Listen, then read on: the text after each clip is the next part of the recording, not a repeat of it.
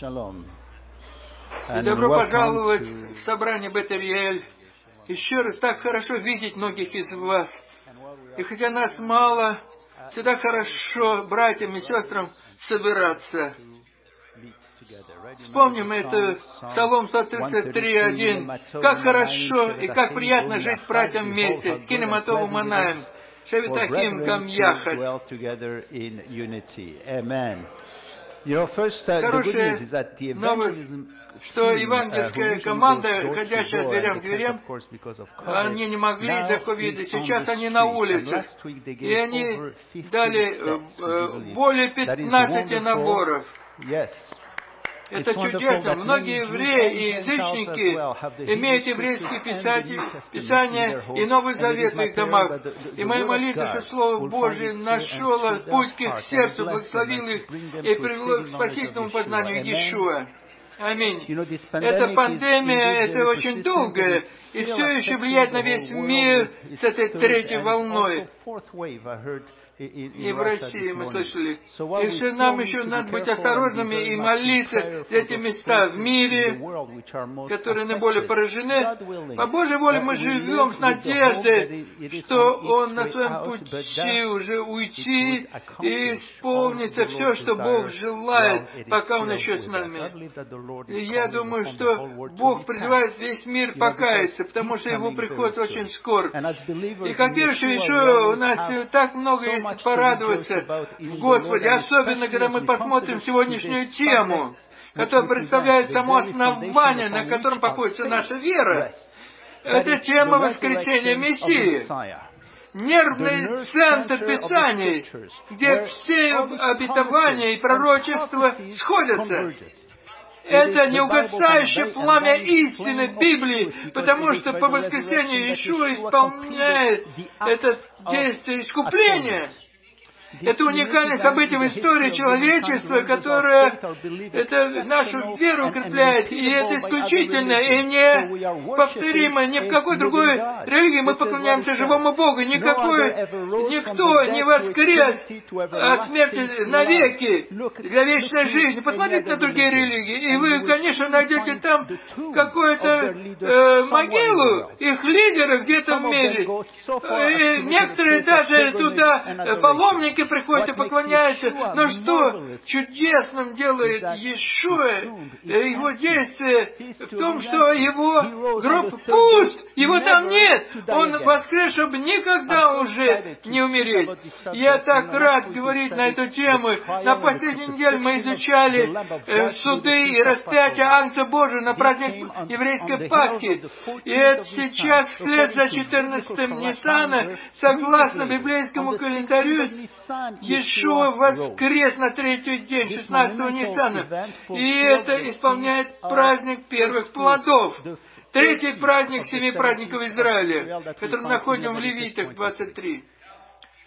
Прежде чем мы будем смотреть на великие сокровища в наших Писаниях, по нашей традиции всегда благословлять и посвящать наших драгоценных детей нашему Богу. И если у вас рядом ребенок, близко, положите свою руку на них, и давайте молиться за них. Шма Исраиль, Адонай Лахен, Адонай Хад, Барух Шем, Кивот Малхутоли Алам Ваэт. Благословенно Его имя, чье славное царство приходит во веки веков. Отче Небесный, мы здесь сегодня с открытыми объятиями и сердцами поднимаем наших детей к Тебе, чтобы Ты их вел, укреплял и защищал, особенно в эти дни э, заключения в домах. И, и приди, веди их, э, дай им силу, и снабди их всем и защити. Учи нас и их учи, как избирать только Твои пути, чтобы они были всегда успешны. И мы все это молимся во имя того, кто сидит справа Тебя, Ишуа Хамашиах. Аминь. Теперь вернемся к нашему драгоценному воскресению Мессии.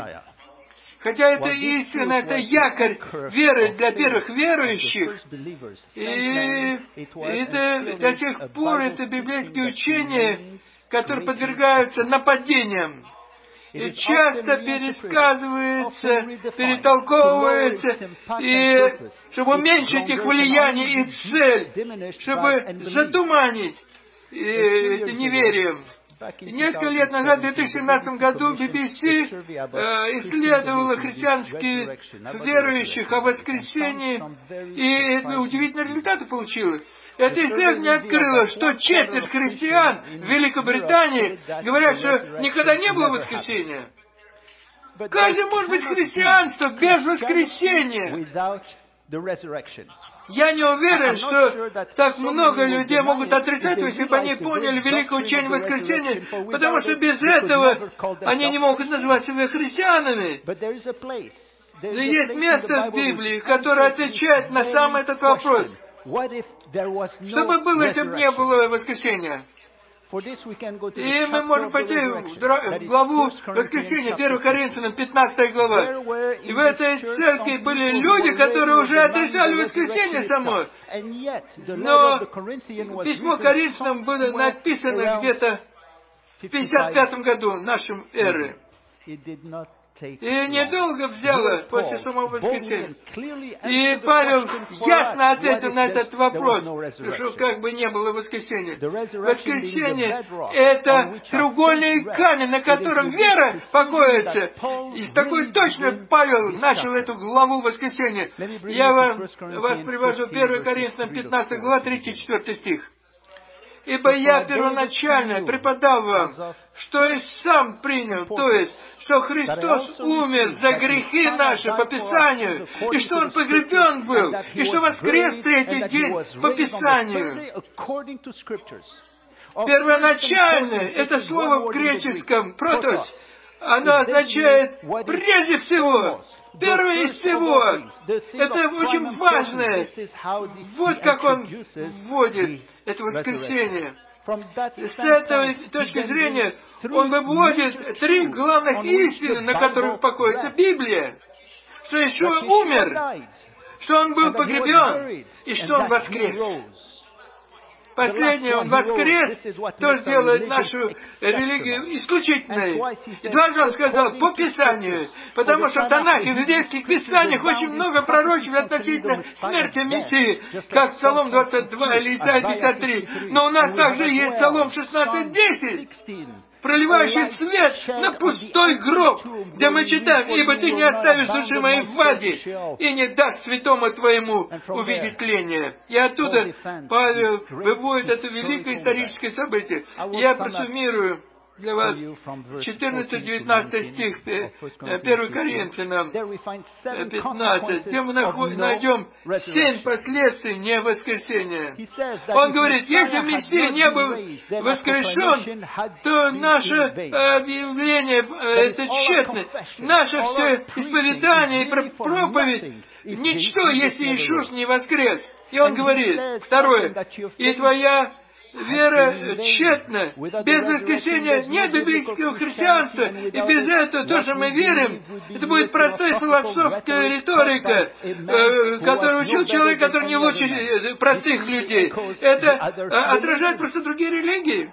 Павел добавляет, третье, мы даже будем найдены уже свидетелями. Почему? Потому что мы от Бога имеем свидетельство, что Он воскресил Мессию. Если бы Он не воскрешен был, значит, из мертвых не воскресает. Он говорит второй раз. Четвертое. Если бы Иисус не был воскрешен, ваша вера пуста. Если Мессия не был воскрешен, тогда пятое. Вы все еще в своих грехах. Вся Библия тогда падает, и не будет прощения грехов. И все мы будем направляться, как Даниил в 12 главе, к стыду и, по, и вечному э, вечной погибели. Но Библия не останавливается на распятии. История искупления не останавливается на распятии. Шестой пункт. И те, которые умерли в Мессии, тогда погибли вовек. И седьмое. Если это жизнь. В надежде только на Мессии мы, мы все очень достойны сожаления. Без воскресения последнее действие — это прибитая смерть на дерево, исполненный план и побеждение над грехом будет без надежды, без будущего, нет вечной жизни. Представьте, дайте я вам скажу, что воскресенье случилось. И наша вера, наша надежда, наше будущее запечатлены в нашем Господе и Спасителе Ишуа. Это благая весть Библии, воскресения. И это был однажды спор о религиях со многими вопросами, где же истина ли. И старый библейский верш иллюстрировал так. Я пришел на перекресток, и я увидел мертвеца и живого человека у которого я спрошу направление. Ответ быстро пришел. Конечно, у живого ты спросишь. И он спросил их всех. Почему вы хотите послать меня к мертвым людям вместо живого, который есть Иисус Христос, еще Хамашех? Это основная разница между нашим Мессией и всякими другими религиозными вождями. Все другие лидеры пришли в мир, жили, умерли и все, ушли. Но Иисус живой. Первые верующие, самые первые, понимали важность воскресения, потому что это стало для них основой исповедания их веры. Посмотрите, как это вот суть в Римлянах 10.9. Этот стих э, используется для описать основу для спасения. Если устами твоим будешь исповедовать Иисуса Господом и сердцем твоим веровать, что Бог воскресил его из мертвых, то спасешься. Если ты исповедуешь устами твоими Иисуса, если ты признаешь, что Иешуа твой личный Спаситель, устное подтверждение считается как подпись контракта твоего с Богом. Но теперь мы спрашиваем, что же ты исповедуешь? Во что ты, ты веришь? Посмотрите важность, какое воскресение играет в этой клятве веры. Это говорится, если сердцем ты веруешь, что Бог воскресил его из мертвых, то спасешься. Если веришь, что еще Мессия божественный по природе, и поэтому называешь его Господом, если веришь, что Он живой, имеет силу э, над смертью и воскреснуть, тогда его жизнь для нас, тогда мы спасены. Это библейское христианство. И через это исповедание Он живет через нас и в нас, и становится нашим лучшим другом вовек. И чтобы сопровождать это исповедание, э, когда верующие крестятся, все верующие в Новом Завете были крещены. И это крещение стало прямой связи с воскресением. Это внешнее действие, которое публично объявляло их веру.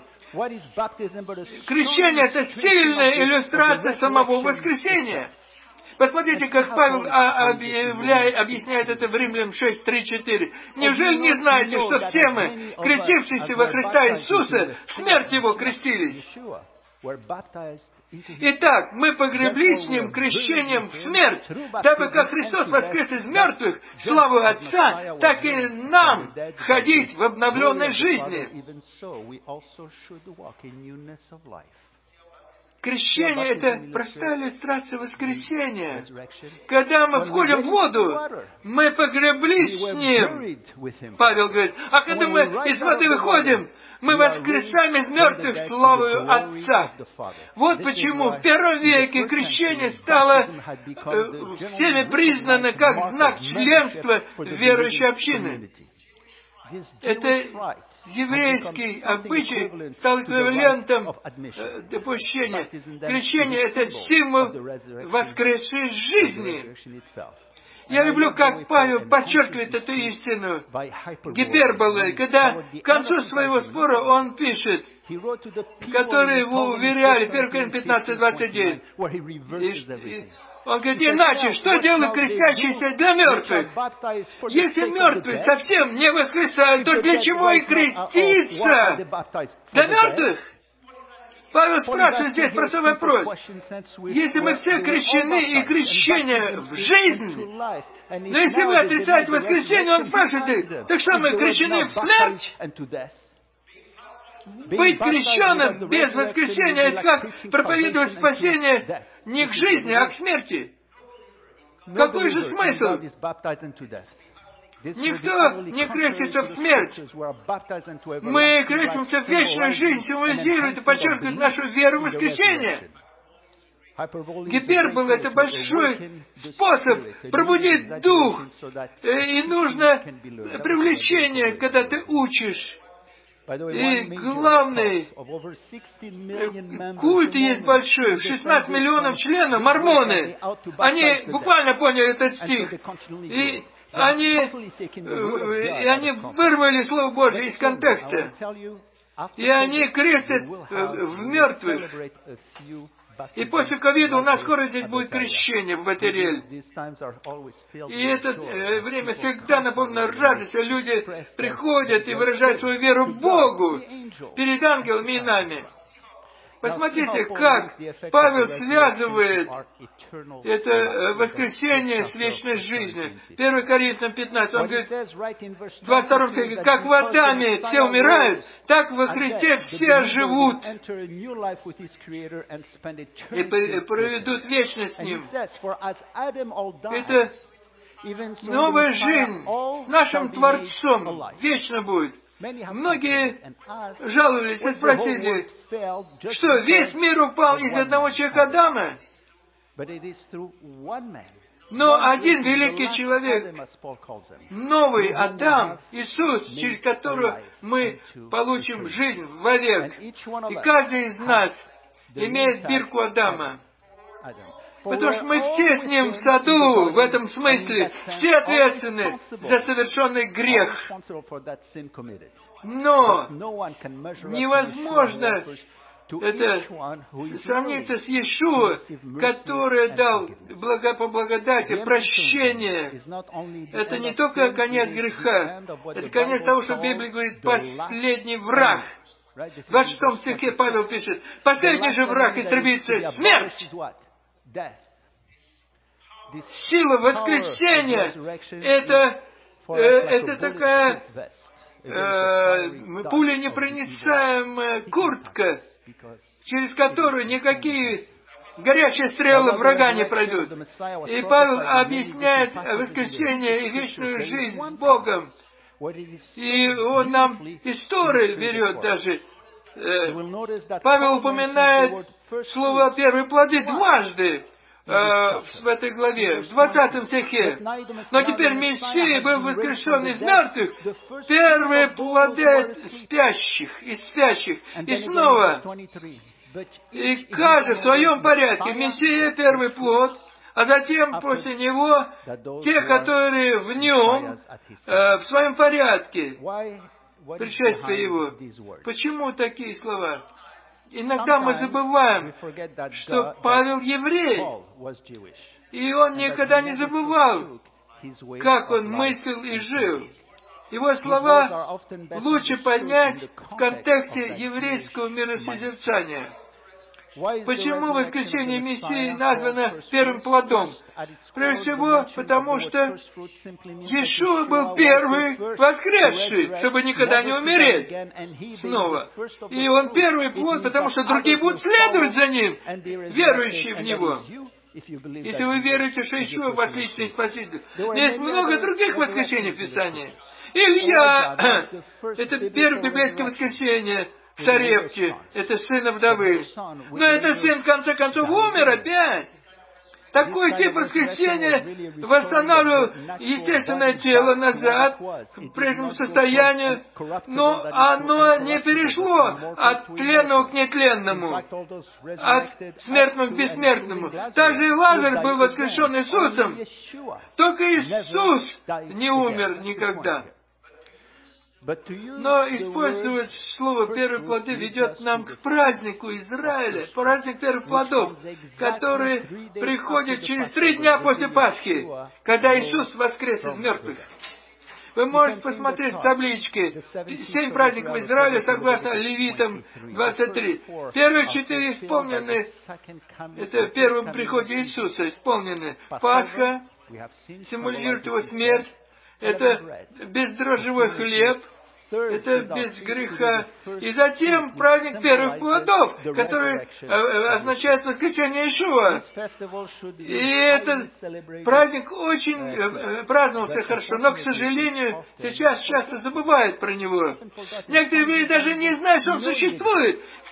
И в современном иудаизме вообще не знают важности этого праздника. И только когда мы уверовали в Иешуа, мы узнали о нем.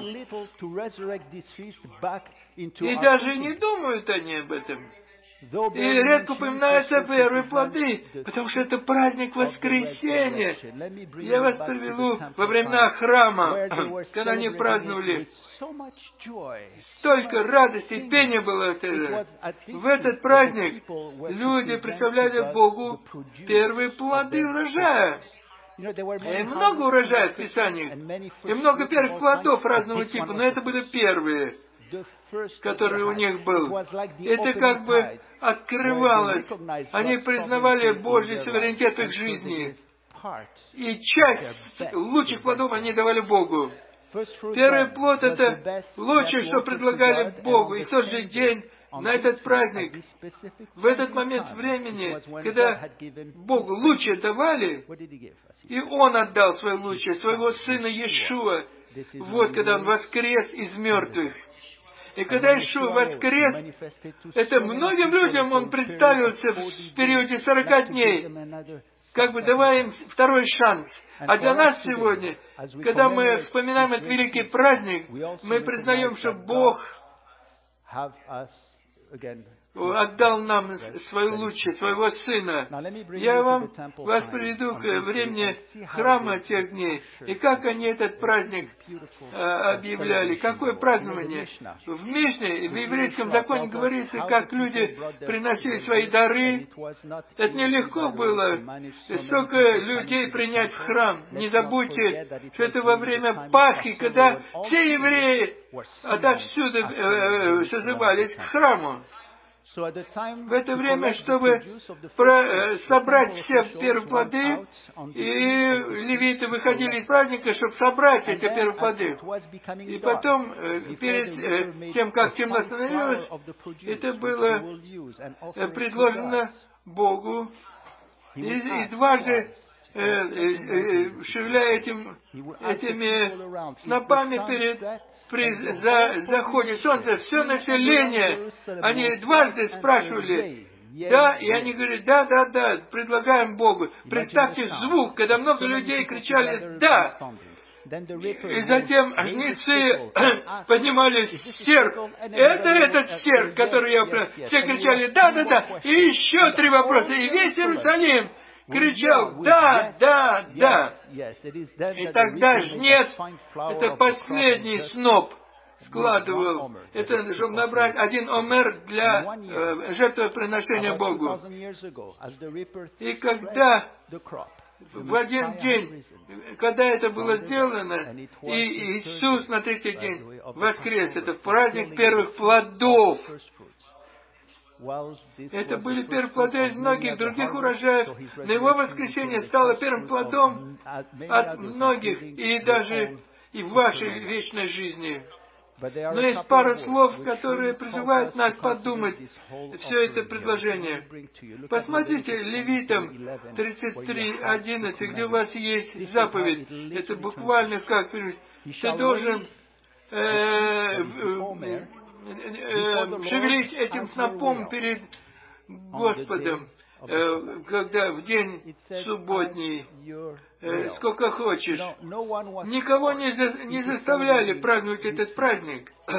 и предложение э, своего плода. Это от сердца должно было прийти, от воли человека. Это как решение к спасению. Этот праздник говорит о вечном спасении, которое никакой человек не может отказаться. Никто. Ни, никого не заставляет идти в небеса. И когда мы посмотрим это прекрасное, эту драгоценность наших писаний, это чтобы помочь вам, ободить вас, подумать о вашем вечном будущем. Время коротко. И хотя израильтяне праздновали первые плоды, и самое главное событие служило в то же время по всему Иерусалиму. Это рассказано нам в четырех Евангелиях, во всех их. Начнем с Евангелия Иоанна, потому что он фокусируется на том, что мы можем назвать практическое воскресение. Как мы можем прожить это каждый день нашей жизни. Иоанн, 20 глава, 1-2 стих. В первый же день недели Мария Магдалина приходит к гробу рано, когда было еще темно, и видела, что камня отвален от грома. Она бежит к Симону Петру и к другим ученикам, которых любил Иисус, и говорит им, «Унесли Господа из гроба, и не знаем, где положили его». И второй ученик был Иоанн. Давайте сначала в контекст поставим второй. Когда говорится, что был первый день недели, и когда начало, э, э, мы думаем, что это рано утром, даже воскресенье утром, но день в Библии начинается вечером, не с восходом солнца. И это событие, я, помните, в Бытии, в первой главе, рассказ о сотворении. Был вечер было утро, день один.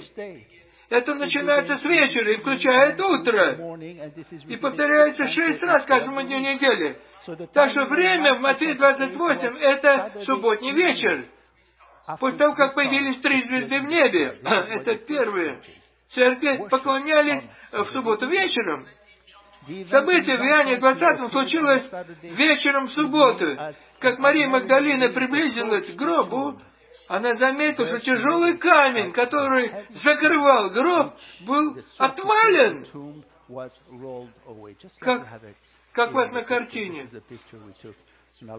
Это, и когда она прибежала к гробу, она шла, что камень полностью отвален.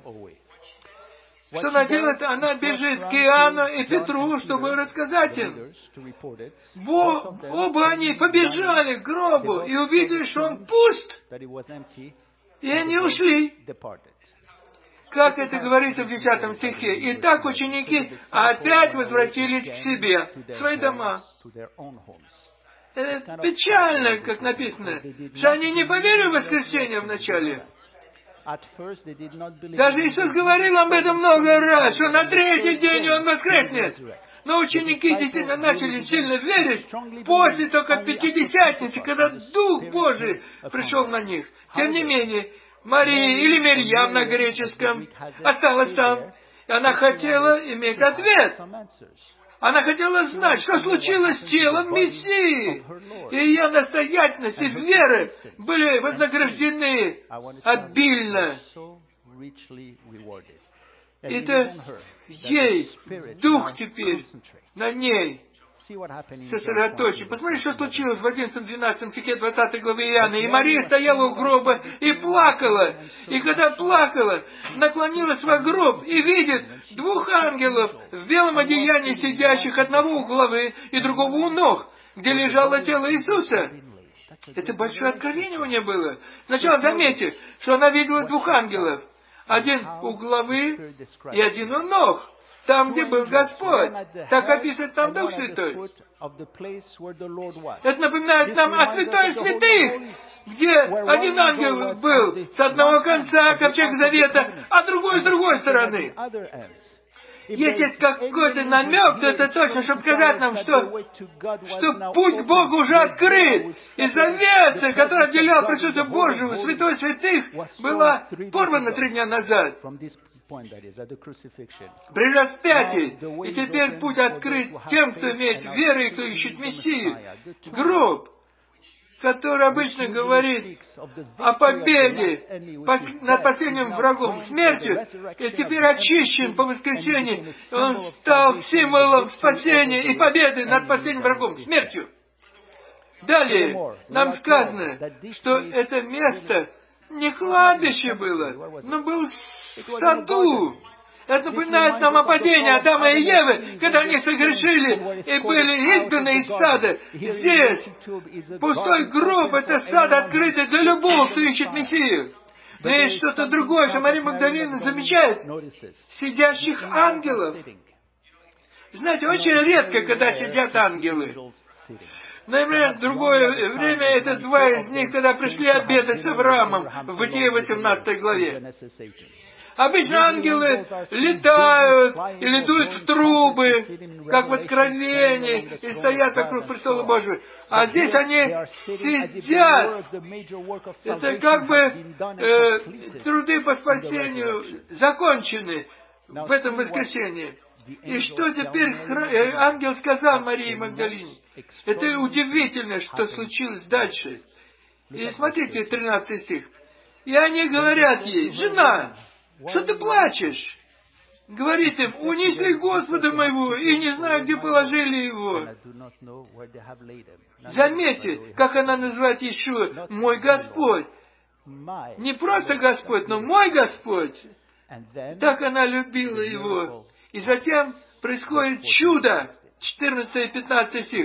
Сказав сие, обратилась назад и увидела Иисуса стоящего, но не узнала, что это Иисус. Иисус говорит ей, «Жена, что ты плачешь? Кого ищешь?» Она, думая, что это садомник, говорит ему, «Господин, если ты вынес его, скажи мне, где ты положил его, и я возьму его». Иисус говорит ей, «Мария». Она, обратившись, говорит ему, «Равуни», что значит «учитель». Какой опыт это был? Опыт, который Петр и Иоанн пропустили. Они позавидовали бы ей. Прежде всего, она не узнала, что это был Иешуа. Может быть, образ Мессии на кресте затмил ее память. И хотя визуально она не была способна в этот момент от, отличить своего учителя и равина, но что одно она распознала, как он произнес ее имя? Мирьям. Он произнес его с такой любовью и заботой, что она тут же поняла, что это Ишу, ее Господь. Это голос, который мы распознаем все, когда время придет, и мы встретим нашего Иешуа. Тогда мы поймем, насколько Он любит и заботится о нас. Мы вспомним голос, который говорил с нами так часто со времен нашего трудного и до самого э, радостного момента. Но что дальше случилось? Это очень интересно. Посмотрите, 17 стих. Иисус говорит ей, не прикасайся ко мне, ибо я еще не вошел к отцу моему, а иди к братьям моим и скажи им, восхожу к отцу моему и отцу вашему, и к Богу моему и Богу вашему. Она прикасалась к Иисусу. Слово прикоснуться, это как застегнуть ремень. Вот. Или кого-то держать очень тесно и не отпускать. Вот то, что она делала. После всего она так плакала, и теперь она видит Мессию воскресшую и решила не отпускать его больше. Посмотрите, какой Иисус нежный. Он ей сказал, что ему надо подниматься к Богу. Подниматься — это как бы э, это вознесение Мессии. И как важно это вознесение. Книга Евреям говорит, что внешне, земная это самая скиния, это э, образ небесного, э, небесной скинии, и Иисус должен был подняться, чтобы очистить и там.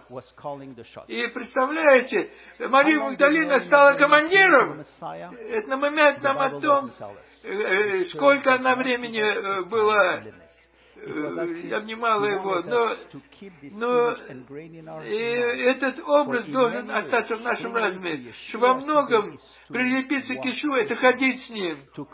И как Он открывается, особенно в Слове, через молитву.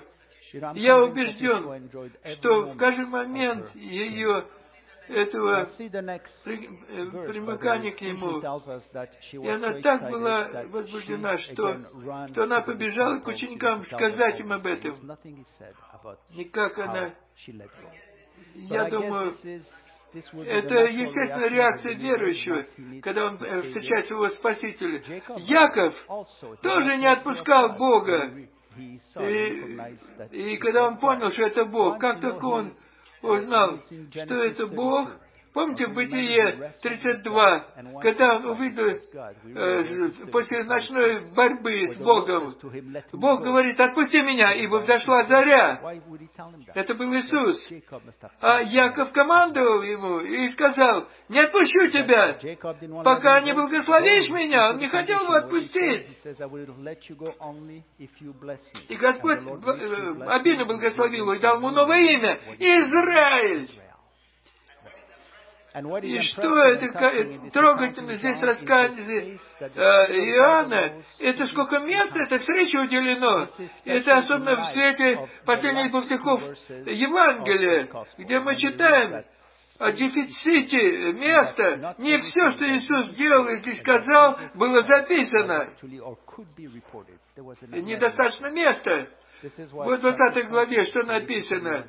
«Много сотворил Иисус пред учениками своими и других чудес, о которых не писано в книге сей. Сие же написано, дабы вы уверовали, что Иисус есть Христос, Сын Божий, и, веруя, веруя, имели жизнь во имя Его».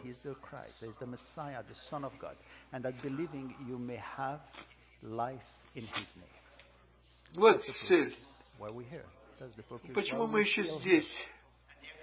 И встреча с Марией Магдалиной, это, это было Богу, собственно, и нам, что Иисус еще жаждет быть сказанным из нас. Вот что трогательно. Это такое важное учение Библии приводит на уровень сердца, чтобы мы могли понять это целиком. Кто же была Мария Магдалина? Она была первый человек, который видел воскресшего Иешуа. И это значительно, потому что она женщина. И очень важно, потому что свидетельства женщин не принимали в суде Синедриона, высочайшем верховном суде страны Израиля. Это тоже суд, который осудил Иешуа перед этим за три дня. Но в суде э, Иешуа побеждает э, справедливость. Он читает сердце человека и знает всякую истину. Есть другой практический аспект воскресения. Я вас приведу к Матфею 28 главе. И в момент, когда Иисус появляется другим женщинам, которые пришли группой, его второе явление было тоже женщинам. Но заметьте его первые слова для них. Матфея 28, 9-10 стих. Когда же шли они возвестить ученикам его, и все Иисус встретил их и сказал, «Радуйтесь!» И они, приступив, ухватились за ноги его и поклонились ему. Тогда говорит им Иисус, не бойтесь, пойдите, возвестите братьям моим, чтобы шли в Галилею, и там они увидят меня. Смотрите первые слова Иешуа. Радуйтесь фактом воскресения. Слово «каиру» описывает состояние счастья. Вот что предлагает Иешуа всем, кто верит в Него. Давайте радоваться, когда мы подумаем обо всем, что Он приготовил для нас. И Он добавляет эти еще три важные вещи. Не бойтесь, пойдите, возвестите. Знание Мессии принесет в сердце верующих сильное чувство благополучия, безопасности, чтобы они не боялись и также пробудит сильное желание идти, объявить благую весть и сказать. Слово «сказать» от слова «ангелос». Это как бы присоединяя к ангельским свидетелям, которые отхватили этот камень от гроба. Это слово «скажите» это переводится словом «показать», «продемонстрировать». Что, потому что верить в воскресшего Ишуа дает силу, чтобы жить этим. Это в конце концов с учениками встречается Иешуа. Он то же самое говорил. Это великое поручение, которое мы находим в последних стихах Матфея 28 главы. Когда он встретил их, предыдущий Иисус сказал, «Да нам мне всякая власть на небе и на земле. Итак, идите, научите все народы, крестя их во имя Отца и Сына и Святого Духа, уча их соблюдать все, что я повелел вам. И все я с вами во все дни до скончания века. Аминь». После воскресения вся власть дана Мессии, Ишуа. Через Него мы можем идти в небеса, к Богу. Как же может такую власть он мог принять, будучи рабом и умерев как раб? И это так дорого было Богу. Когда дошло до воскресения, вся Троица была вовлечена. И сказано, в том стихе, во имя Отца, Сына и Духа Святого. Имя в единственном числе, но три имени сказано. Это Троица, три единства Бога. Как это может быть имя, слово в единственном числе, но три, три участника Троицы упомянуты, есть больше даже. возложено нам. Это божественность Мессии прямо здесь. Где еще мы видим это? Я с вами навсегда, до скончания века. Как еще может быть столько, столькими людьми одновременно быть до конца? Потому что Он вездесущий и вечный. Только Бог вечный и вездесущий, и это для всех важно. Иисус вечный. И как все члены э, о, э, этой Троицы вовлечены в этом действии воскресения. Воскресение Отцу в Галатам 2.12 мы читаем. «Вы погребны с Ним в крещении, в Нем вы из вас воскресли веру в силу Бога, который воскресил Его из мертвых». Это теперь сыну. В Иоанне 10, 18. Никто не отнимает ее у меня, но я сам отдаю ее. Имею власть отдать ее, и власть имею опять принять ее. Сей заповедь получил я от Отца моего. И Духа Святого, в Римлянам 8, 11. Если же Дух того, кто воскресил из мертвых Иисуса, живет в вас, то воскресивший Христа из мертвых оживит и ваши смертные тела Духом Своим, живущим в вас. Все трое вовлечены в воскресение. И когда здесь природа Бога показана, теперь мы можем пойти и объявить Его. Идите, делайте учеников, крестя и уча их. Это всем верующим призыв. И это, это, и это, у нас должно возникнуть желание идти и слушайте, примите, и делайте учеников, учите их Слову Божьему. Это последние слова Иисуса в Евангелии. Что мы видели сегодня, это важность воскресения. И как на практике это великое учение принесет многие изменения в нашу жизнь. Для заключения я спрошу, Какое наилучшее доказательство воскресения, которое можем представить окружающим людям? Что? Среди многих аргументов, которые можем привести, есть одно, что они не могут спорить против чего. Ваша измененная жизнь, верь, что живой, полностью изменила вашу жизнь. и восприятие мира, и возрастит наше наше э, определение э, жить и любить других. И много иллюстраций мы из Писания можем взять. Когда Ишуа был э, распят, ученики испугались и спрятались в домах. Только после Пятидесятницы их страх перед людьми, их любовь потерянную возросла, потому что они потеряли свой страх, и не было проблем вернуться уже даже в суды храма, тех самых, которые распяли Ишуа. Очень небесный. Э, ты никогда не пропустил свои обетования и не забыл своих, которые поважили свои сердца к тебе, и ты учил учеников великим новостям, а для всего собрания пусть Господь благословит вас, хранит вас, и пусть Его лицо сияет вам, и пусть Господь поднимет свое лицо вам и даст вам мир. Аминь и аминь.